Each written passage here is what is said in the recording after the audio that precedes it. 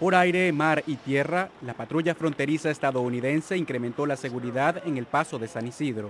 Y la razón, evitar que se repita un hecho como el de este domingo.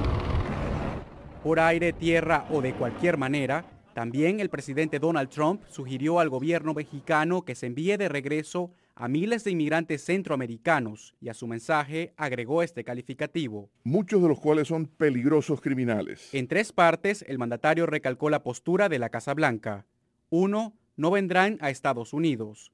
Dos, pidió al Congreso que financie el muro. Y tres, insistió en que podría cerrar la frontera permanentemente si es necesario. Tras los disturbios de este domingo, las autoridades fronterizas en Estados Unidos detuvieron a 42 personas que lograron saltar la valla, mientras que en México al menos 39 de los inmigrantes fueron detenidos y al resto, más de 4.000 que se encuentran en Tijuana, se les advirtió que podrían ser deportados si intentan cruzar ilegalmente.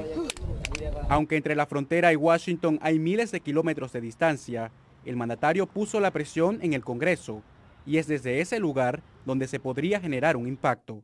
El presidente Trump advierte al actual Congreso de mayoría republicana que solo tiene dos semanas para decidir si agregará o no los fondos para el muro en el presupuesto.